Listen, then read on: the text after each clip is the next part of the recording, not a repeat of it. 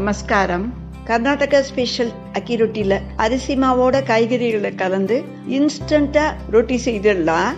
நான் இப்போ சிறுதானிய வெரைட்டியான வெள்ளை சோள மாவையும் அரிசி மாவையும் கலந்து காய்கறிகள் கலந்த ஹெல்த்தியான ரோட்டி செய்ய போறேன். வெள்ளைச்சோளம் வந்து antioxidant vitamin protein fibre எல்லா சத்துக்களும் நிறைந்தது. இந்த வெஜிடபிள் அக்கி பிளஸ் ஜோவர் ரொட்டி ரொம்ப சுலபமா செய்யக்கூடியது. பிரேக்ஃபாஸ்ட் லஞ்ச் டின்னர் எந்த டைமா இருந்தாலும் சாப்பிடலாம். ஈஸியா டைஜஸ்ட் ஆகும். எப்பவுமே தொட்டுக்கிறதுக்கு தேங்காய் சட்னி வெங்காய சட்னின்னு செய்வோம். அதுக்கு ஆல்டர்னேட்டிவா சுண்டைக்காய் துவையல் பண்ணிருக்கேன் இப்ப எப்படி செய்யறதுன்றத பார்க்கலாம்.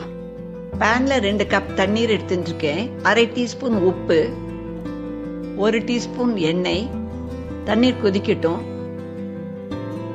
ஒரு கப் வெள்ளைச்சோள மாவு ஒரு கப் அரிசி மாவு.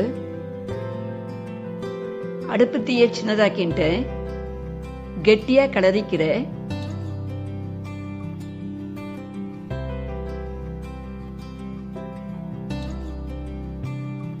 கையில ஒட்டாத பதம் வரணும். கெட்டியா எடுத்து அடுப்பை அணைச்சிடுறேன். கிளறினதா சுத்தமான துணியில சேர்த்துக்கிறேன்.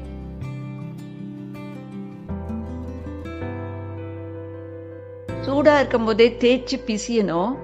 அதுக்காக துணியில சேர்த்துட்டு இருக்கேன் கைய தண்ணீர்ல தொட்டுண்டு சூடா இருக்கும் போதே பிசியலாம். சாஃப்டா பிசிஞ்சுக்கணும்.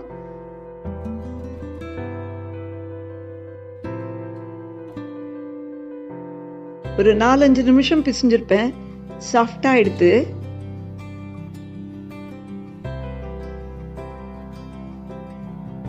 பிளெயின் அக்கி ரொட்டி ஜோவர் ரொட்டி ரெண்டுமே செய்திருக்கேன். இந்த முறை தான் கலந்த மாவில் செய்ய போகிறேன் ட்ரை பண்ணி பார்க்கணுன்றதுக்காக கொஞ்சம் மாவு தனியாக எடுத்து வச்சுக்கிறேன். இப்போ வெஜிடபிள் ரொட்டிக்கு என்னெல்லாம் மிக்ஸ் பண்ணுறதுன்றதை பார்க்கலாம். பொடியாக நறுக்கின வெங்காயம். துருவிய கேரட். துருவிய நூல்கோல் பொடியாக நறுக்கிய குடமிளகாய் ஒரு டேபிள் ஸ்பூன் கடலைப்பருப்பை ஒரு மணி நேரமாக ஊற வச்சிருக்கேன். தண்ணீரை வடிச்சிட்டு சேர்த்துக்கிறேன். உருவிய தேங்காய். பொடியாக நறுக்கின கொத்தமல்லி பச்சை மிளகாய் ரெண்டுத்தில் உள்ளே இருக்கிற விதையெல்லாம் நீக்கிட்டு பொடியாக கட் பண்ணி சேர்த்துக்கிறேன். சீரகம் ஒரு டீஸ்பூன் உப்பு தேவைக்கேற்ப. எல்லாம் ஒரு கால் கால் கப்பு சேர்த்துட்டு இருப்பேன். அளவு நம்ம இஷ்டப்படி சேர்த்துக்கலாம். இது கூட துருவிய கேபேஜ் பொடியா நறுக்கிய வெந்தயக்கீரை இந்த மாதிரிலாம் சேர்த்துக்கலாம். பிசிஞ்ச மாவு கையில ஒட்டாம இருக்கணும். கொஞ்சம் பிசு பிசுப்பா இருந்தா தேவையான அளவு அரிசி மாவை சேர்த்து கெட்டி பதத்துக்கு பிசிஞ்சுக்கணும்.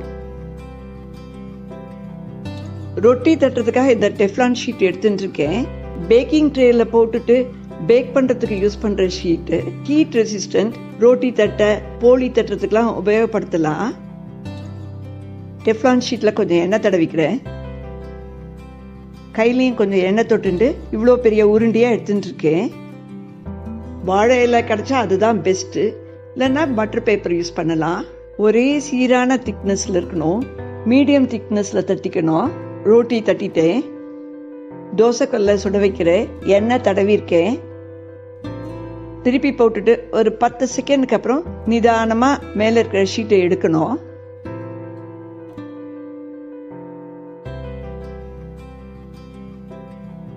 அடுப்பு தீ மீடியம்ல இருக்கு.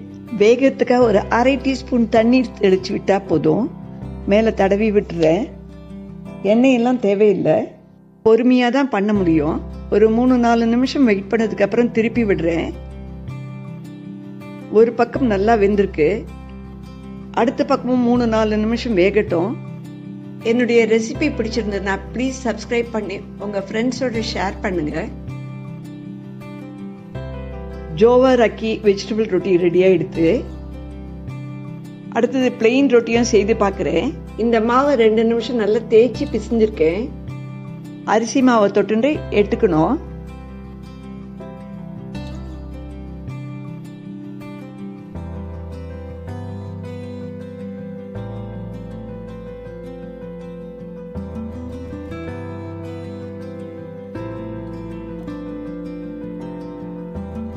மூடியை வச்சுட்டு ரவுண்ட் ஷேப் கொண்டு வந்துட்டேன் முடிஞ்ச வரையும் தின்னா எடுத்துக்கணும். தோசைக்கல்ல போடுறேன் எண்ணெயே வேண்டாம். வேகிறதுக்காக ஒரு அரை டீஸ்பூன் தண்ணீர் சேர்த்தா போகிறோம் அதை மேலே தடவி விடுறேன்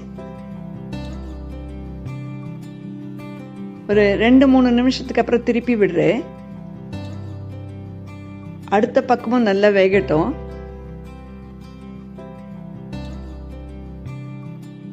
நல்லா ஒப்பி வருது.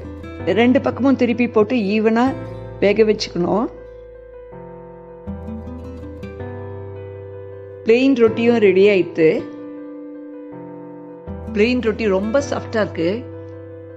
சுண்டைக்காய் துவையல் எப்படி செய்யறதுன்றது ஆல்ரெடியே வீடியோ போட்டிருக்கேன். அதனுடைய லிங்கை டிஸ்கிரிப்ஷன் பாக்ஸில் கொடுக்குறேன். ரொம்ப டேஸ்ட்டாக இருக்கும். வெஜிடபிள் ரொட்டிக்கு சைட் டிஷ்ஷே தேவையில்லை.